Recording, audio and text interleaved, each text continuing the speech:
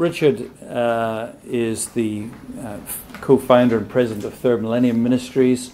Uh, you can read about that. There's a, a detailed bio in the, uh, in the brochure here. He taught for many, many years at, uh, at Reformed Seminary prior to that. But his vision has always been uh, much much broader than just a mere local thing. It's, it really is global and worldwide, and we are we are very very grateful to Richard uh, for all the help that he and his colleagues have uh, have brought to us here. Uh, they really are at the, the cutting edge and the forefront of um, producing excellent excellent material in in uh, theological education.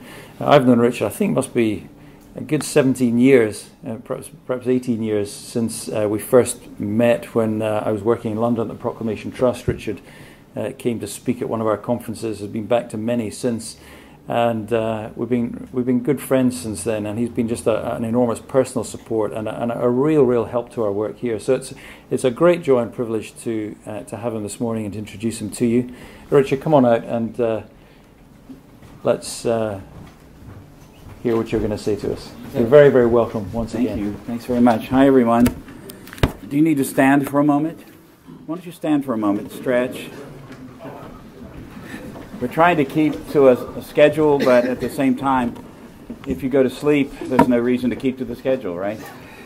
This is, by the way, if you need a bio break, this is your opportunity to slip out quietly, okay? And um, unobtrusively. That's not much stretching, but that's okay. I know I need to stretch. Is that me? Okay, great. Thank you very much for coming out this morning, and thank you, Andy. Thank you, Willie. Thank you, Charles, for allowing me to have a few moments to share in this time. I promise I will do my best not to bore you, but I won't bore you for very long. I can tell you that. How's that? I can promise that part of it. Uh, I want to tell you just a little bit about Third Millennium Ministries and how it got started and how my understanding of it and vision of it has changed recently because I think it fits into what we're talking about here. I was professor of Old Testament at Reformed Theological Seminary for about 23 years, 25 years, and along the way, because it was such a, an easy job, and being a professor is an easy job, by the way, very easy. Not like what most of you are doing who are in pastoral ministry, which is a horrific job. It consumes your life. Uh, because of that, my wife and I had opportunities to travel in different parts of the world every holiday, and we did. And as things changed in the world out there where we were traveling primarily to do evangelism, especially in the former Soviet Union, as the, as the former Soviet Union changed, suddenly the people there, the church there, stopped wanting me to come and to teach, uh, rather to do evangelism, but rather they wanted me to come and start teaching, training their pastors. I mean, you're a theological professor, please come over and do that. Reluctantly, I began to do that. And in places like Mongolia, Siberia, Poland, Czech Republic, places like that. Okay, it was rather bizarre, but nevertheless I did. And I had an epiphany. And the epiphany was this that where the church is growing the fastest in the world, there's the least opportunity for leaders to learn sound theology in the scriptures.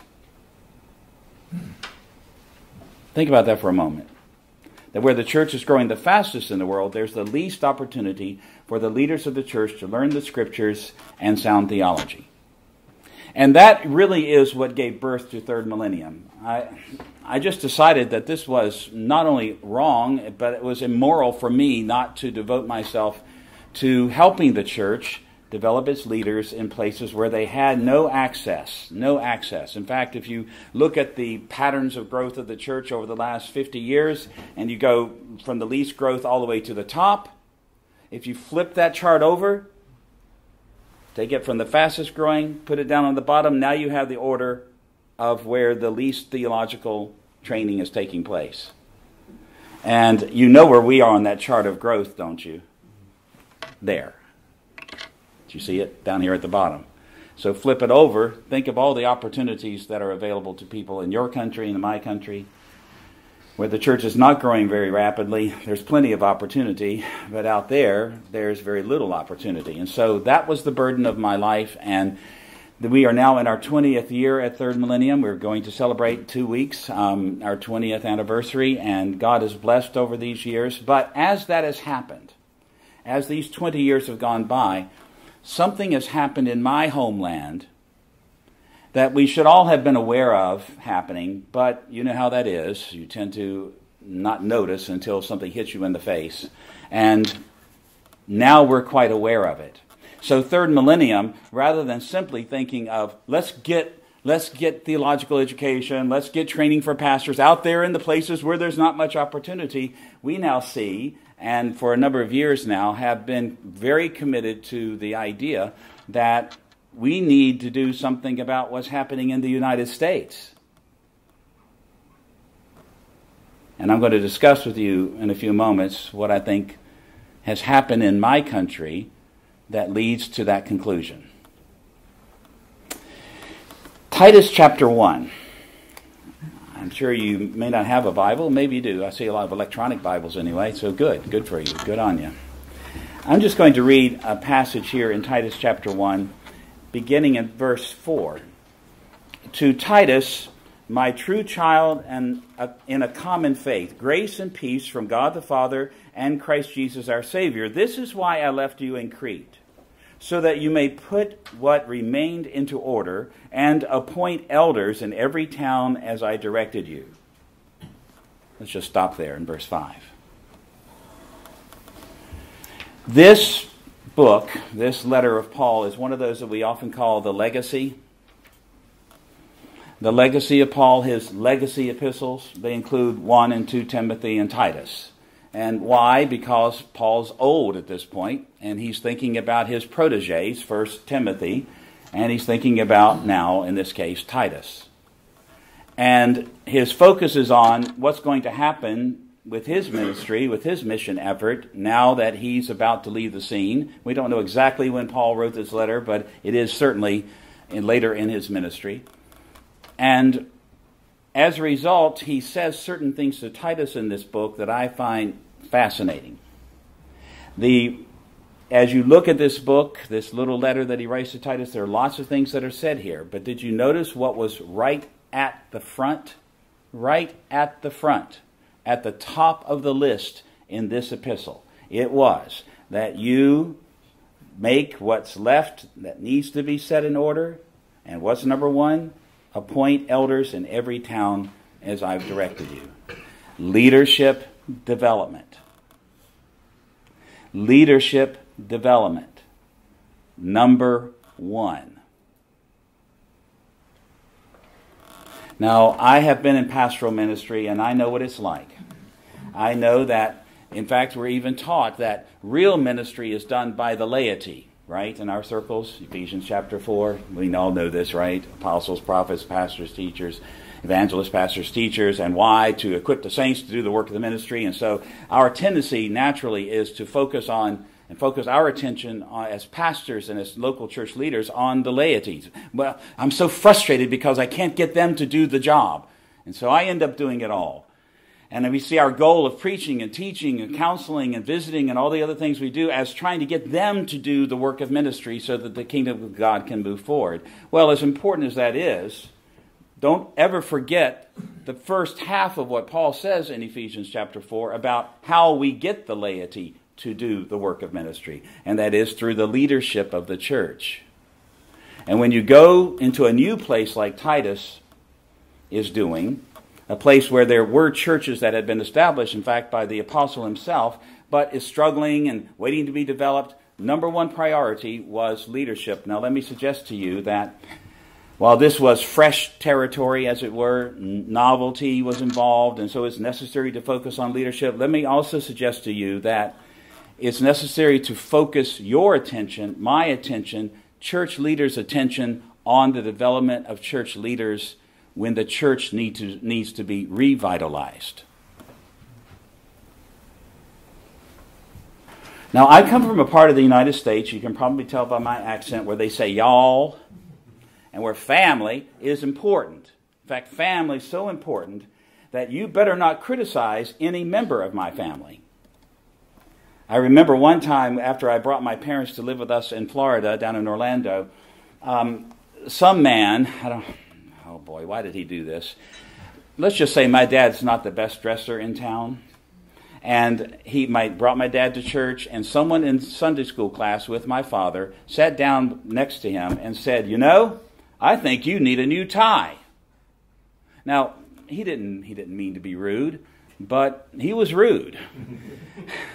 and um, my dad was hurt by this, older, he was probably 75 at the time. And of course, he had a tie that was probably this wide on that morning, okay? Probably had stains from the food that he had eaten over the last hundred years. And this man was trying to help him out. You need a new tie, brother. Well, I knew the man that had done this. And so after my dad was crushed by this and started telling me about this before worship began, I spotted him. And as soon as worship was over, the first thing I did was I went to that man and I said this I said, Don't you ever criticize my father again. This is my family. Don't you talk about how my father is dressing. But of course, you know what I did on Monday morning, don't you? I went out and bought my dad a new tie. I said, Dad, this is the tie you wear now. We're throwing the others away. See, inside the family, you can critique each other, you can help each other, you can point out what's wrong and that sort of thing, but don't do it from one family to another. If you're not part of the family, don't be criticizing us. Okay, so here I am. I'm not a part of your family. I don't live in Scotland. I've been here a number of times. I've been to UK more than that, and I sort of know you, but I really don't know the inside of what's going on here. So I'm not coming as someone who's an expert on what ought to happen in Scotland or in the UK. I don't know. And I certainly would not criticize the way you dress. I would not criticize the way you do theological education or the training of your leaders. But what I want to do this morning is talk a little bit about my family. That's the Church of the United States and what I see there. And if you find it appropriate to apply some of that to you, great. If you think I'm just nuts, stupid American, fine. If you think I'm a prat, thank you, Terry, then, um, then just ignore me.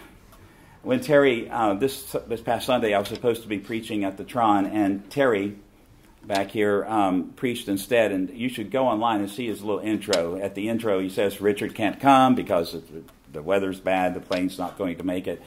And he said, Well, I'm sorry for this, but I'm not an American. I'm not a professor. I'm not six feet tall. I don't have a beard, and I'm not a prat. and as soon as I saw that, I texted him immediately because someone showed me the video, and I texted him immediately saying, I hate to tell you this, Terry, but you are a prat.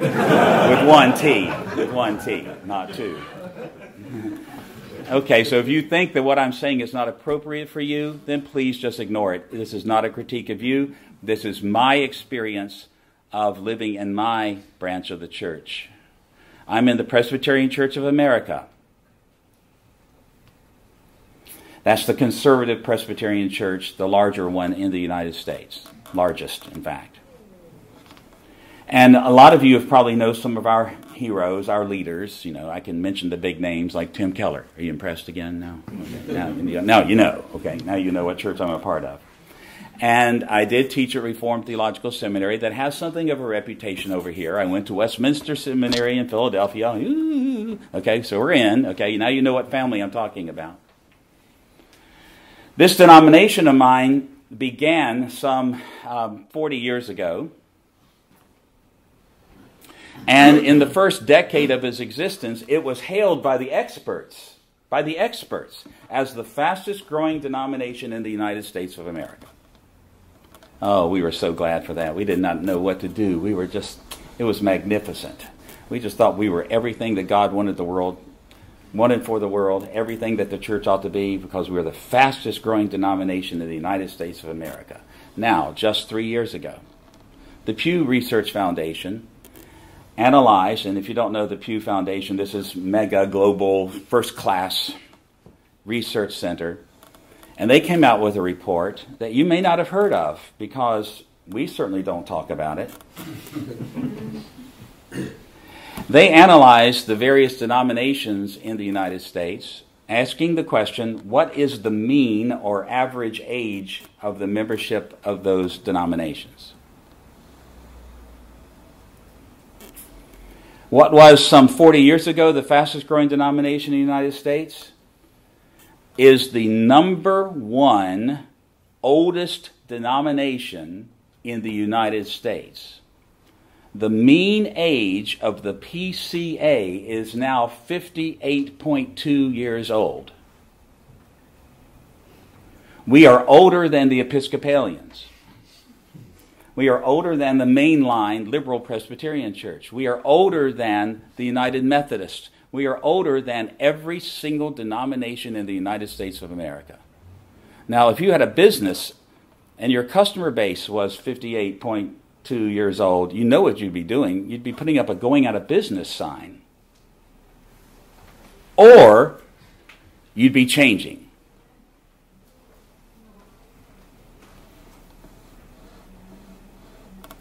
How is it that a denomination becomes so old? Well, young people don't come. And where is the problem? What's the critical piece? Well, I want to suggest to you that what Paul's telling Titus here in this passage, at an, in a new territory, is also the same problem when the church dips like that. Leadership. Leadership leadership. But we have the schools. We have the ones you've heard of before, even over here. We have the scholars. We have the professors. They write the books.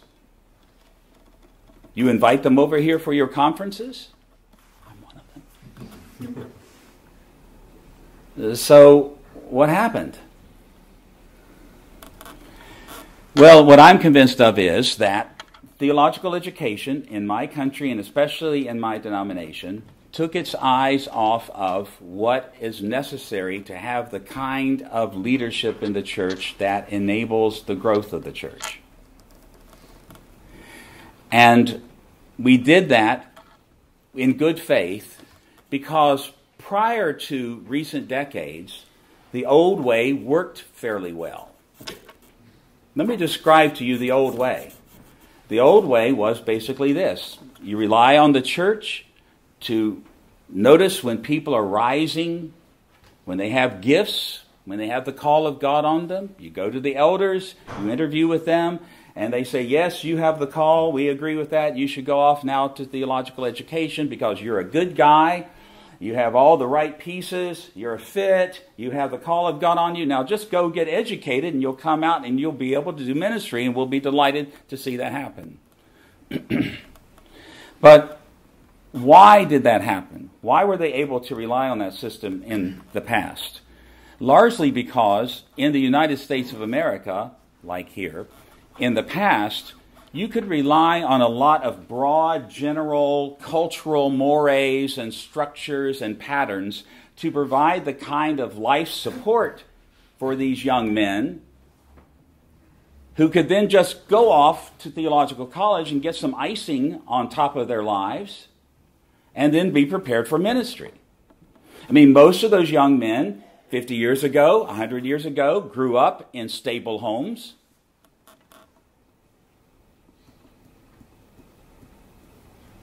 Most of them had fathers and mothers who, even if they weren't Christian and even if they didn't love each other, even if they weren't madly in love with each other, they stuck it out. Say, yes, I know those kinds of people. They grew up in a culture that said that there are certain moral convictions you ought to have, or you're not an acceptable person. Oh, infidelity occurred, but that's not really acceptable. Stealing occurred, but mm, it's really not acceptable. We know the difference between men and women. Life was fairly stable, even though there were exceptions, especially in private life, and even though not everyone was Christian, it was a highly Christianized culture, America. In fact, we used to speak of our civic religion as being Judeo Christian so that when you drop back to the default, when you drop back to uh, what we all sort of agree on, more or less, here in this country, what was it? It was, well, it's what the Bible says the Ten Commandments. I learned the Ten Commandments in public schools in the United States. I memorized the Lord's Prayer from my fourth grade teacher. I memorized in my in grade two, year two of my elementary primary education, I memorized Luke's account of the Christmas story. That was the world in which I grew up in. But quietly, over the last 30 years, 25 years, American culture has changed radically. We no longer have as our civic religion Judeo Christian. We no longer have those kinds of stabilities in family life. In America, we don't even know what a man or a woman is.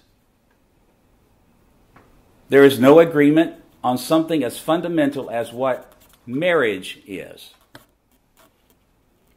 And this is the world in which current young people who are rising to leadership and future young people who are rising to leadership in the church, this is the world in which they grew up.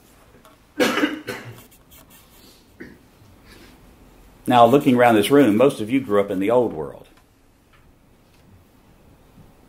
Your children and your grandchildren are growing up in a new world. A world in which their friends do not go to vacation Bible school. A world in which the parents of your children's friends are themselves doing illegal drugs at home. Now, those illegal drugs in my country are becoming legal. A world in which, no, the Ten Commandments, I can't even, I don't even know what they are. I've heard of such, but could I recite them? Mm-mm, no. There's something in there about adultery, I think. These, this is the world in which our rising leadership is growing. And even though we may believe that they're not affected by it because they're Christian, because they have faith in Christ, I hate to tell you this, but they are deeply affected by it. And in my 26 years of teaching and theological education, I saw with my own eyes in private conversation with promising students in the seminary how vacuous their lives were because of the culture they were growing up in. They had come to saving faith in Christ, hallelujah they were committed to Christ, hallelujah, but they did not, they came from broken homes. They had themselves been involved in such immorality, it just would take your breath away. They themselves had been involved in things like drug abuse. They were thieves. They were everything that you could possibly count as being contrary to Christianity, and it was what they grew up in. Now, when Paul is writing to Titus, he's basically telling him, go to Crete, hang out there, work your work there. Pay attention to leaders is very important. Um, but you know, Crete at that time had a bad reputation. And I'm sure those of you who have taught through the book of Titus know this. You know, the Cretes are barbarians and that kind of thing. Basically, what it meant was Crete was like Las Vegas. It was not a sophisticated place. It was not a place where Judeo Christian values were held in high esteem. It was a nightmare. And so you know that the people who grew up there, even if they had come to Christ, you knew that they were scarred, deeply scarred, by that Cretan culture. And so I think it's fascinating when you think about that cultural background for that island, how the Apostle Paul describes the sort of leadership that he wants Titus to establish in the church. And I think the parallel to my world in the United States and perhaps yours is striking and makes Paul's list of the qualifications of leadership that we'll read in just a moment ever so important for us. So let's read it for just a minute. Remember in verse 5, he says, This is why I left you in Crete, so that you might put what remained into order and appoint elders in every town as I directed. If anyone is above reproach, the husband of one wife, and his children are believers and not open to the charge of debauchery or insubordination.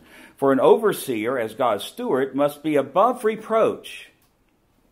He must not be arrogant or quick tempered or a drunkard or violent or greedy for gain, but hospitable, a lover of good, self controlled, upright, holy, and disciplined. He must hold firm to the trustworthy word as taught so that he may be able to give instruction and sound doctrine and also to rebuke those who contradict it.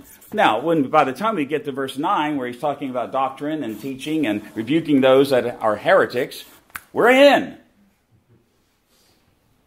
We're in. Because that's what training for leadership in the body of Christ is all about, isn't it? Taking people who grow up in a broad Christian society who already have embedded within their psyche, even by the non Christian culture, the basic morality of Christianity, they know that it's not good to do this and not good to do that. Oh, they're good people. They grew up in stable homes. Now, what we all we need to do is send them off to a group of experts who went to school a few more years than they will, and then they can get the right doctrine and they can rebuke those who have false teaching. But certainly not in Crete out of these some 14, 15 things that the apostle lists here, did you notice how little, how little they have to do what we have done in traditional theological education? The last one, I'll grant. And it is a very important one, of course, to know the truth of Scripture and to teach that truth and to be able to contradict or rebuke those, refute those who contradict the truth. Oh, so utterly true. I mean, I've made my whole, if you don't think I believe that's important, then just remember I've made my whole life out of that. This is the way, this is bread on my table. But I know something about my country that makes it today a lot like the island of Crete in Paul's day. And that is, it is rare for people to grow up already having the character and the skills that are necessary for ministry that he lists here. Hospitality. When was the last time you saw a class on the roster of a curriculum of a theological college that was entitled Hospitality? Not pugnacious or polemical, well, we find someone who's polemical or pugnacious, we lift them up and call them apologists. Like a good fight, you're an apologist. You need to get out there and start doing it. Pick a fight. It's great fun. Good reputation. Not a drunkard. You see, brothers, sisters, what I'm trying to say to you is, is that in my country, there has been such a radical cultural shift that people come to theological education, traditional theological education, unprepared in their character, unprepared in their skill set, but we still think they're going to be ready for ministry if we just add the icing of academic theological education. But as I had my ministry at Reformed Theological Seminary, it was always interesting how this happened. Occasionally, as after students put down the binoculars through which they were looking at me in the front of the room with 120 people in the room, is that Richard Pratt up there? Yeah, I think it is. I can't get him in focus. See, I was mentoring them. You understand? yeah, yeah, that is he. Okay, good. A few of them would venture forward after the end of class and they would always ask, uh, several of them would, you know, this happened every week or so. They would say, you, Can we have some time together at some point? And so they, there was this thing that uh, they talked about the Pratt Walk, yeah, with two T's. okay, the Pratt Walk, which meant at lunchtime we'd take a walk, this person and I. Now, you might think that those Pratt walks were all about what's the difference between supralapsarianism and infralapsarianism? Or can you, can you go over the documentary hypothesis of the Pentateuch one more time? I didn't quite get the difference between the Elohist and the Yahwist. Can, can you do that one more time for me, Rich? I wish that were the kinds of things they talked to me about. But it became so regular to the contrary that I could almost predict what was happening. And here is what almost every single one of them for 10 years came to me to have that private conversation, brought to me in tears, crying out for help. Richard, I am addicted to pornography and I cannot break it.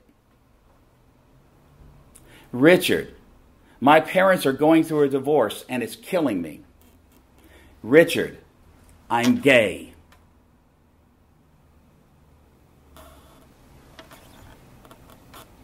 And so, of course, I would say to them, well, don't worry. By learning your theological lessons, all this is going to be fixed. Do you hear what I'm saying? Western culture has gone from this Judeo Christian context within which perhaps it was appropriate to take young men who were heading for ministry and simply send them off to a school to learn some serious academic matters from experts in the fields. Okay, I got it. I could possibly go with that 75 years ago, 100 years ago.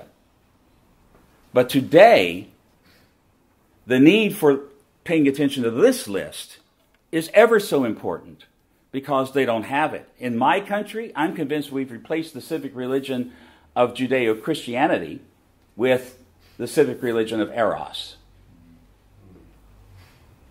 so that the number one inalienable right that people have in the United States of America, their basic, most fundamental religious commitment, is that they have a right to fulfill their psychosexual needs.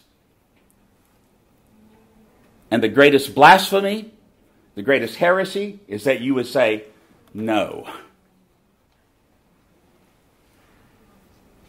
You don't think that influences the young people that are rising in your church as leaders?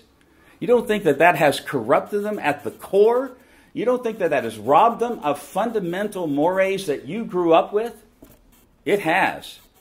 It is rotting. So, in my opinion, my humble opinion, in my country, we need a radical renovation of what we consider to be the kind of educational, developmental is the word I prefer, developmental process we need to observe for the training and successful development of leaders in the body of Christ. Let me tell you the easy part of those verses, this list that Paul gives to, Tim- to Titus. The easy part is verse 9 the data. That's the easy part. The hard part is the others. And it's ever so essential today.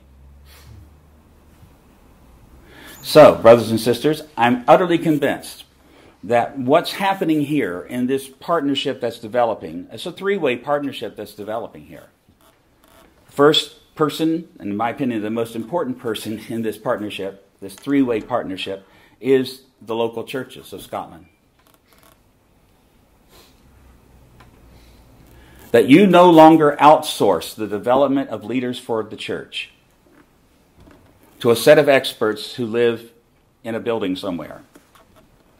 You no longer send them to monastery. Rather, you are the ones who teach them. You are the ones that provide for them the full orbed education and development that they need not just cognitions, but their behaviors. And not just their behaviors, but their emotional life.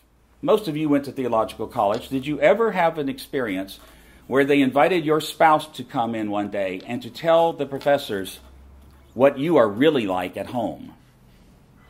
Can you imagine doing that?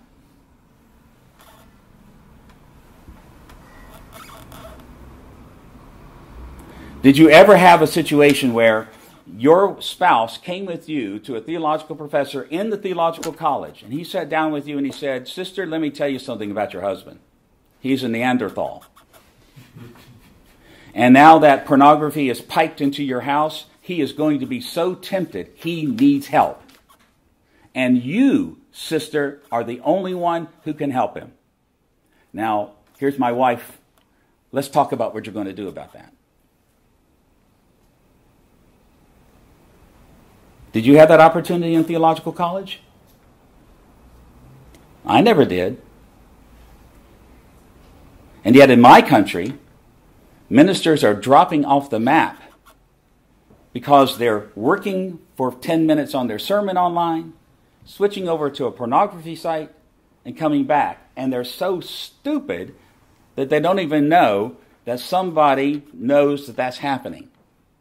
And then when the elders of the church discover it, everyone is scandalized. And I say, why are you scandalized by this? This is the world they grew up in. This is their life. They need your help.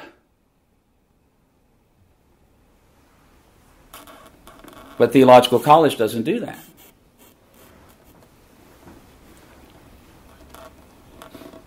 When was the last time you heard of a traditional residential theological college speaking to the husband and the wife together about what kind of father he is. Does he pray with his children? Does he pray with you? I'm sure that a lot of you who are married, perhaps while you're in theological college, hope that no one asks you, Do you pray with your wife? And so, of course, when you get into ministry, all of a sudden that begins? No way. So, we are in a situation today that we did not face 50 to 100 years ago, where this common civic religion supports the Christian faith. Instead, our cultures, mine and yours, have radically changed. How has it changed? Well, it's changed toward eros, but it's also been changed because of massive immigration. Now, in my country, like yours, because of massive in- immigration, the theme of the day is tolerance. You can't be different from other people. You certainly can't step out in the public arena and say, my religion is the true religion anymore. If you're Christian, now if you're another religion, you can. But if you're Christian, you can't. You have to just simply say, well, you know, this is my opinion. When you live in that world, that brings up the problems in ministry. Our men who are moving toward ministry have got to be taught in a much broader way so that their heads, yes, get the right doctrines. Never diminish that. Never diminish that. And I would say, just as an aside, the curriculum of Third Millennium has more data in it than you get in a normal two year program in a theological college. We know this because we began making our lessons by actually using recordings of classes with permission, and we would revise them and put them in. We discovered something that surprised us that every hour of the Third Millennium curriculum was equal to two and a half to three hours of classroom performance. So when you go through the curriculum at Third Mill, which has the equal number of contact hours, you actually end up getting two and a half to three times as much data as you would by sitting and listening to lectures. It was amazing. We were shocked by this. So I don't believe we should lower the amount of data. I do think we should find ways to make it easier for people to get.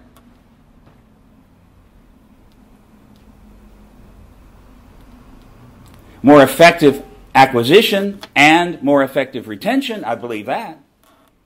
And that's why we do it the way we do, because there's all kinds of scientific evidence for how to increase the efficiency of, acquisi- of acquisition and the retention. And we follow that evidence. But I'm much more concerned that by making it a more efficient data transfer and a more effective data retention, that what this does for a situation like Cornhill and a situation like your local church, this is what I'm really interested in, is it opens up space, it opens up time for the human to human contact to actually deal with real life, the broad matters of life that we didn't have to address so much in the past, but are front and center now. The moral life of the student. the spiritual life of the student? Do we even care that our students, as they develop into the leaders of the church, know how to keep in step with the Spirit? That they know what it means to walk by the Spirit and not by the flesh? Do we even care? Well, now you have the opportunity right here in Scotland with this partnership between your church, Cornhill, Scotland, Third Millennium, to have space to actually deal with those things. Now, here's the wonderful thing, brothers, because many of you are in church leadership right now. this is one of the wonderful things. When you open up your church to this, when you join in as one of those three partners, it's going to benefit you so much you won't believe it. Because every time you talk to that young man about how he's treating his wife and his children, you're going to be reflecting on how you're treating your wife and your children. When you help them with their prayer life, you're going to be helping you with your prayer life. When you help them learn how to reach out to their neighbors with the gospel of Christ, it's going to inspire you to reach out to your neighbors with the gospel of Christ. And here's the wonder of it all. Remember how the purpose of leadership is to motivate and to equip the saints to do the work of ministry? when you and your rising leaders begin to exemplify these qualities, they will begin to imitate. Why hospitality? Well, certainly for the leaders to be hospitable himself, to invite others in, to spread the gospel, that sort of thing. But you know what scares your people from being hospitable? Why, when they have their party, they only invite their closest friends and family? Why they don't invite the Sikh living next door, or the Muslim living two streets down, or the gay couple across the street? Do you know why they don't? They're terrified. They're terrified. Absolutely terrified. But when they see you and your young rising leader doing that, and realize that you didn't die. Okay, you didn't die. How about that? He had the gay couple across the street into his home for a Christmas celebration, and no one died. I can't believe it. They will suddenly realize they won't die either. That inviting a Muslim into your home doesn't mean they're going to pull out a knife and cut your throat. I can't believe it when they see you doing it because you're engaged with your young leader on this broad spectrum of matters,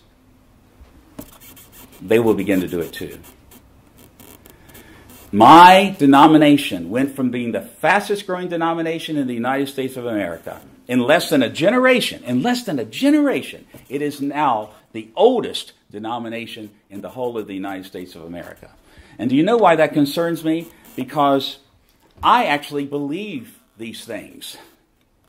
I believe what my church stands for. I believe in our doctrines. I believe these things so very much that I don't want to see them pushed to the side. I want to see them propelled forward. I want to see them propagated. I want to see the glory of Christ come through the teachings of my branch of the church. That's how much I, I mean, I am living for that. And for that reason, I am going to be a part of a revolution in the way that we train our leaders. Amen? Amen.